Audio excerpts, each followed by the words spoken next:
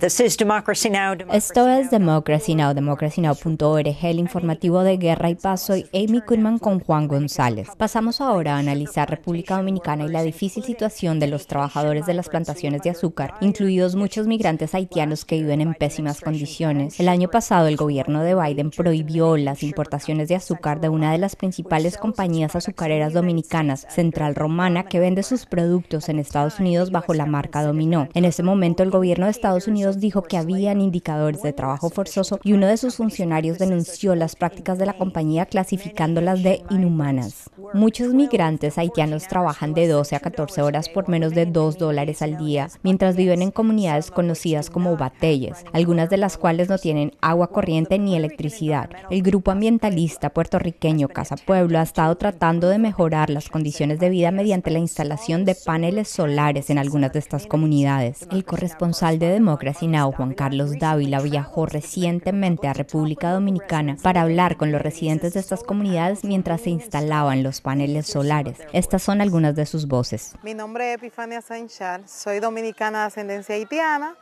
Soy coordinadora del movimiento reconocido aquí en la zona del Ceibo en los años pasados, pues eh, esos gobiernos hacían un acuerdo de eh, laboral con el vecino país haitiano. Entonces, esos acuerdos laborales que hacían, pues hacían unas contrataciones con varios braceros o varios cañeros que, venían a República Dominicana a dedicarse al corte y cultivo de caña. El, el Estado vio que la mano de obra barata de los braceros haitianos era importante para la población dominicana y la economía dominicana, pues fue dejando, fue construyendo batalles.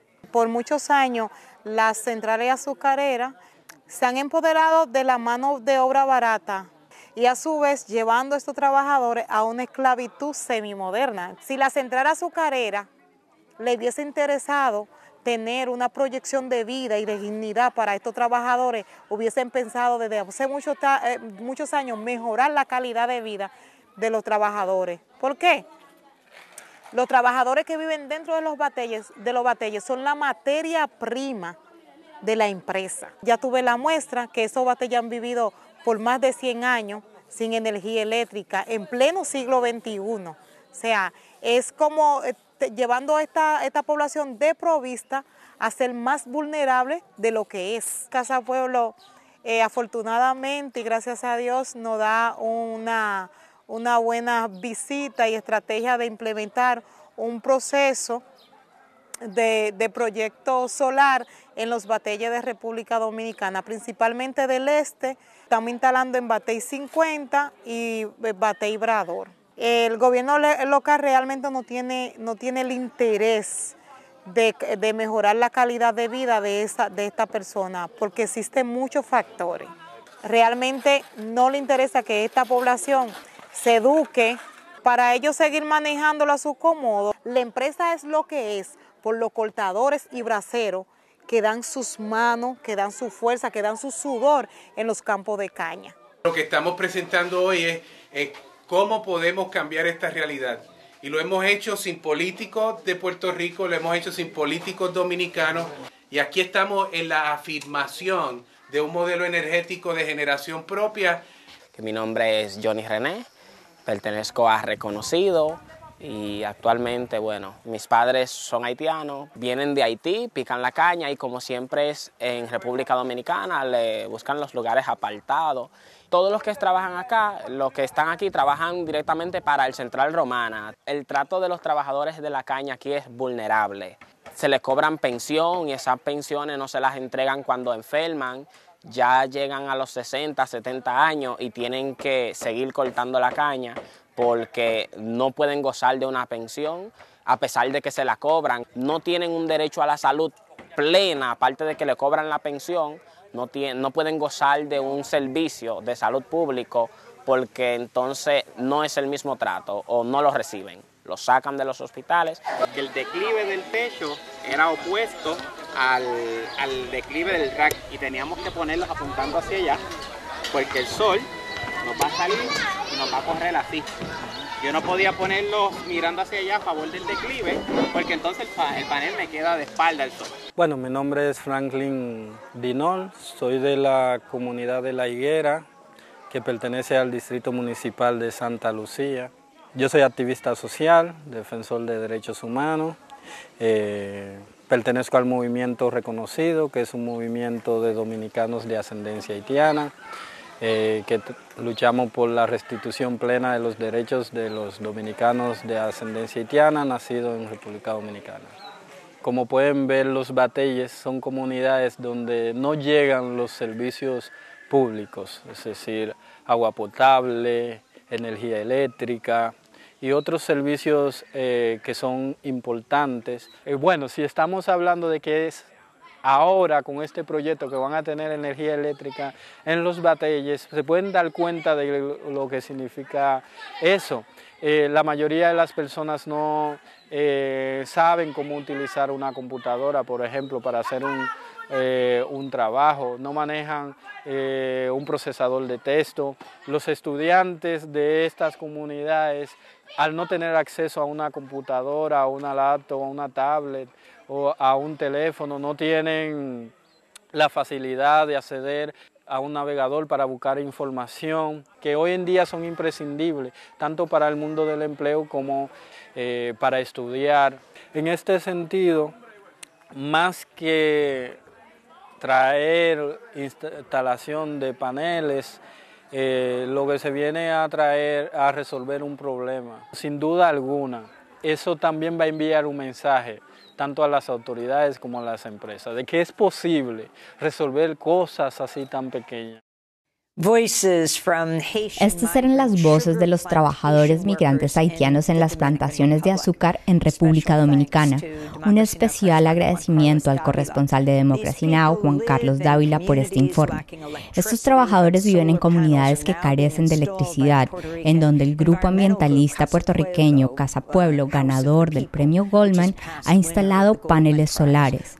Nos acompaña ahora el director ejecutivo de Casa Pueblo, Arturo Mazol de Ya quien se comunica con nosotros ahora desde San Juan, Puerto Rico, después de regresar de República Dominicana. Es genial tenerle con nosotros, Arturo. Hable más sobre las condiciones que enfrentan estos trabajadores, las empresas para las que trabajan, como la azucarera dominicana Central Romana, que venden sus productos en Estados Unidos bajo la marca Dominó, y lo que usted hizo cuando fue a República Dominicana. Allá pudimos conocer a Jean Santos y a muchas personas que trabajan en estos campos de, del cañaveral, trabajando largos periodos de tiempo, eh, teniendo que inclusive incluir a sus hijos en, estas tareas porque tienen unos salarios eh, de miseria. Trabajan, el pago no es por hora, el pago es por tonelada de caña que cortan, casi menos de cuatro dólares por tonelada. Eh, eso requiere más de un día de, trabajo.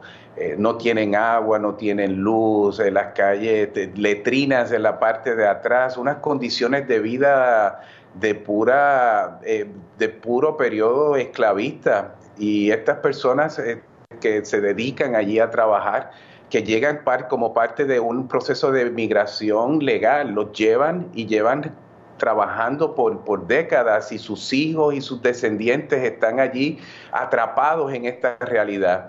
En el caso nuestro decidimos incidir para transformar esa realidad, transformarla a través de propuestas alternativas que establezcan referentes de cambio eh, y el derecho a la energía debe ser para todos y todas, en Puerto Rico, en la República Dominicana, en Haití, en Cuba, en el mundo entero.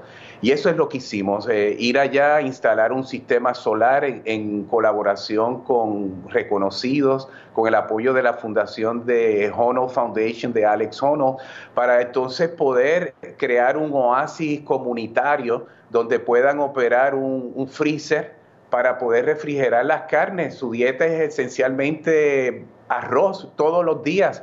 Ahora pueden producir su hielo, pueden refrigerar sus carnes, tienen un área de entretenimiento colectiva para los niños, para los adultos, alumbrado en las calles para que puedan tener vida colectiva en, las noches de manera más segura, recargar sus equipos de celulares y un poco mejorar las condiciones y establecer un referente de que esa realidad puede ser transformada. Nosotros transformamos esa realidad en cuatro o cinco horas de trabajo con la comunidad misma. Así que el referente de cambio está ahí con una denuncia de que hay que atender estas injusticias mayores que sufre eh, el pueblo haitiano y la comunidad dominicana de ascendencia haitiana. Arturo, could you talk somewhat about the role of the... Y Arturo, ¿podría hablar un poco sobre el papel del gobierno de la República Dominicana en términos de la protección a los trabajadores migrantes?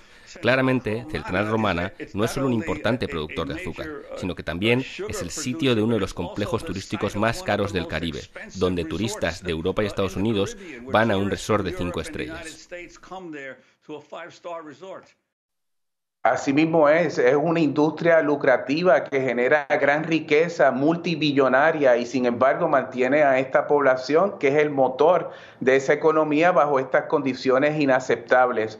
Eh, la central romana es la que tiene el poder económico y político sobre los gobernantes en la República Dominicana y al final del día el gobierno dominicano sigue dándole la espalda a esta población.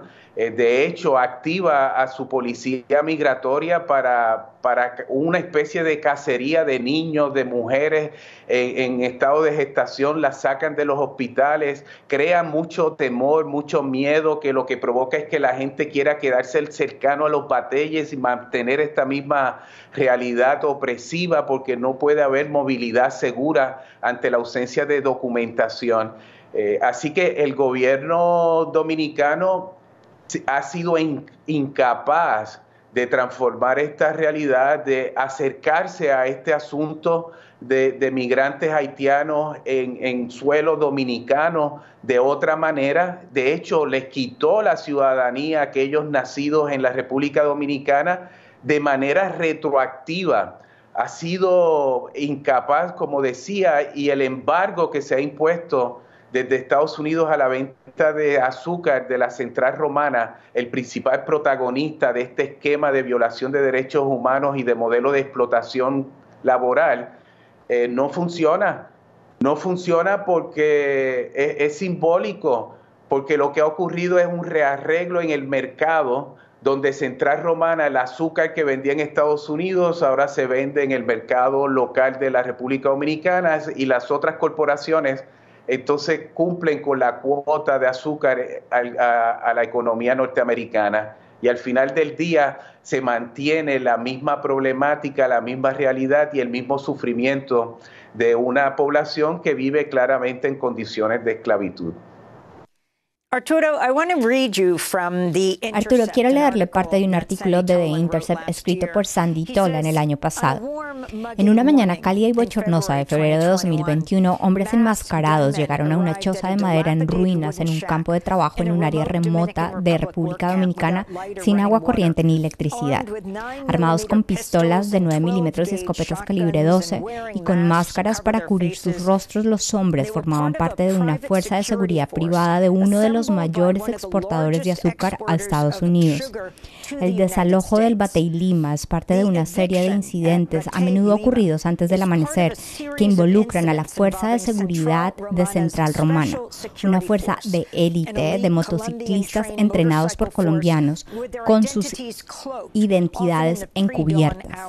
The Intercept describió desalojos similares con descripciones casi idénticas en más de 15 entrevistas durante los últimos seis meses de fuerzas de seguridad enmascaradas vestidas con uniforme azul oscuro y armadas con escopetas y pistolas de 9 milímetros, las cuales suponen una presencia temible para los residentes locales.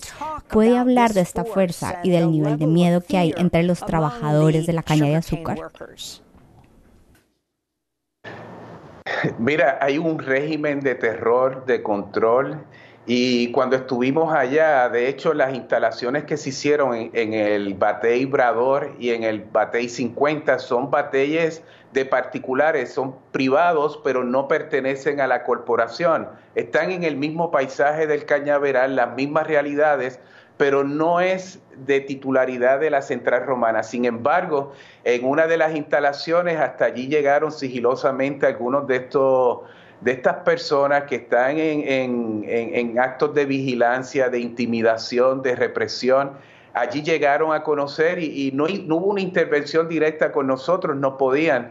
Logramos las instalaciones y, los servicios energéticos están allí, pero sí conocemos de intenciones de, de sacar a la gente. Y eso ocurre porque una vez el trabajador deja de ser útil, ya no da rendimiento, cuando el trabajador muere, por ejemplo, no goza de ninguna seguridad de hogar. La familia, la mujer, sus hijos son simplemente descartados.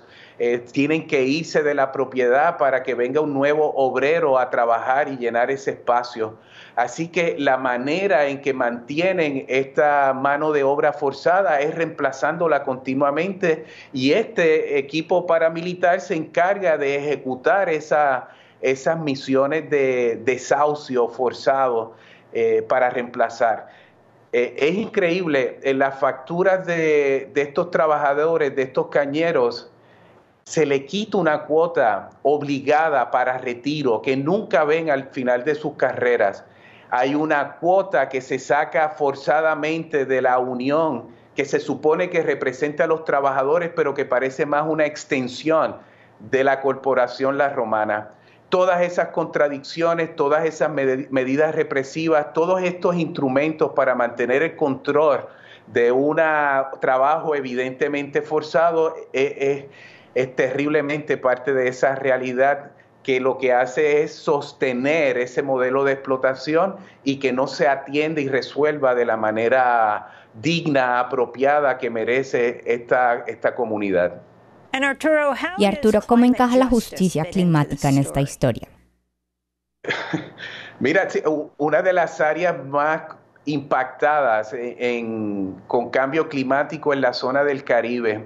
Y el derecho a la energía tiene que ser para todos y todas, para, para los que trabajan, para, lo, para todo el, país. Y, en el caso de, de la República Dominicana, donde hay cientos de batalles, donde estamos hablando de cerca de 200 mil personas viviendo bajo estas condiciones, el derecho a la energía como un mecanismo de mejor vivir pero también para estar mejor preparado a enfrentar lo que estamos viviendo en el Caribe, tormentas, huracanes, huracanes fortalecidos eh, simultáneamente, ese derecho a la energía como, como, un, acceso básico para el, bienestar de las familias tiene que ser, tiene que llegar también a los batalles hay que transformar esa realidad y, seguridad energética, generar energía en estos lugares es posible. La central dice que los batalles están en lugares remotos que no pueden llevar la infraestructura energética. Lo que estamos diciendo es eso se resuelve inmediatamente.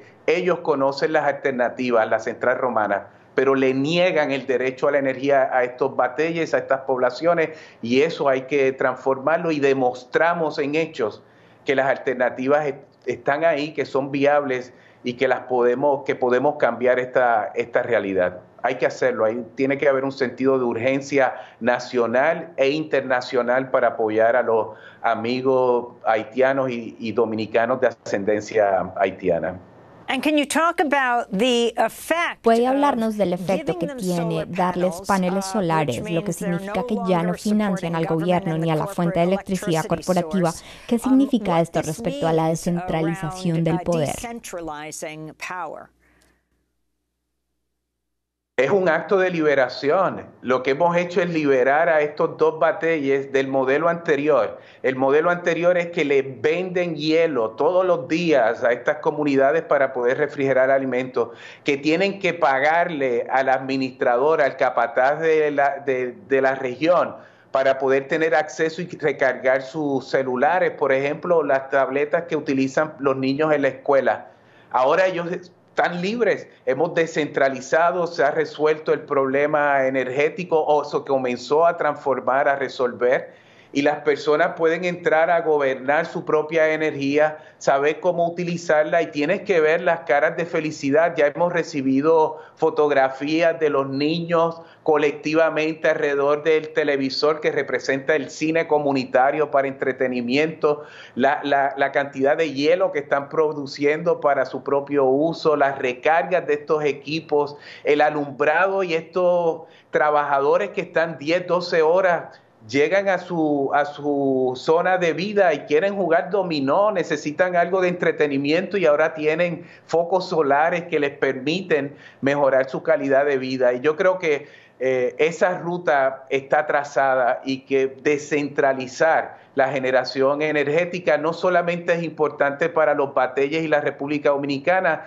es lo mismo que venimos impulsando y construyendo en Puerto Rico, descentralizar ese modelo obsoleto, unidireccional, dictatorial de estas empresas, donde quieren que la gente sea consumidora de, de la energía que se genera con combustibles fósiles. Tenemos que romper ese modelo por uno de mayor responsabilidad planetaria, de mayor responsabilidad social, que nos libere y genere unas condiciones de vida eh, mejor para todos y todas. Arturo, let's end where you are in Puerto Rico. Um, Arturo, hablemos de Puerto Rico, donde usted se encuentra. Usted llevó energía solar a los batalles en República Dominicana. Puede hablar sobre la labor que realiza en su isla tan bañada por el sol. Tras el poderoso huracán María, los puertorriqueños sufrieron mucho cuando el sistema centralizado de energía colapsó. ¿Qué hay de la energía solar? ¿Es eso algo que el gobierno ha impedido implementar? Mira, en Puerto Rico, eh, Casa Pueblo viene operando con energía solar desde el 1999. En el 2017, cuando pasa el huracán María, como estamos generando energía en el punto del consumo, en el techo, pudimos regresar a normalidad el día después y apoyar a nuestra comunidad la radio comunitaria nuestra, la torre de comunicaciones, eh, opera con energía solar. Hemos construido un cine solar para que el, tema de entretenimiento. Hemos abordado el tema de seguridad alimentaria, energizando con el sol, colmados, donde se ve el primer nivel de acceso a alimentos. Hemos ayudado a más de 200 familias, especialmente por razones de, de, salud, a que puedan operar su máquina de diálisis, terapia respiratoria, porque es infraestructura crítica. Hemos hecho que los bomberos, emergencias médicas, dos hogares de adultos mayores, la escuela elemental, el comedor puedan tener seguridad energética para mantener su operación aún en días difíciles. Y esto ha sido probado. Amy, tuvimos que enfrentar el paso del huracán Fiona un año atrás y y, bueno, los bomberos en medio de la emergencia estaban recibiendo llamadas y coordinando rescates. Eh, Nelly y su hija estaban recibiendo su diálisis peritoneal porque tenían seguridad energética. La radio siguió sirviendo. Dos días después del huracán están los niños yendo al cine solar, los oasis energéticos funcionando, el hogar de adultos mayores con la energía base para poder continuar su operación. Así que eh, la transformación de ese paisaje energético es un referente de lo que debemos estar haciendo en Puerto Rico. Eh, es cierto, no se está impulsando de la misma manera. Se ha creado una ilusión de que los fondos federales son los que van a resolver los problemas energéticos del país y eso ha creado mucha inmovilización, una falsa esperanza de que los cambios van a llegar de arriba hacia abajo cuando hemos probado, evidenciado que lo que está ocurriendo en Puerto Rico es una insurrección energética desde la base comunitaria para transformar ese modelo de dependencia obsoleta de generación centralizada. Eh, está ocurriendo en Puerto Rico y ya es un movimiento eh, que no va a haber quien lo detenga. Eh, la transformación está ocurriendo por el esfuerzo horizontal de muchos sectores que tienen un consenso nacional de que hay que cambiar este modelo y descentralizarlo ya. Arturo Masol de Ya. Muchas gracias por estar con nosotros, director ejecutivo de Casa Pueblo en Puerto Rico, que acaba de llegar a San Juan desde República Dominicana. Soy Amy Goodman con Juan González.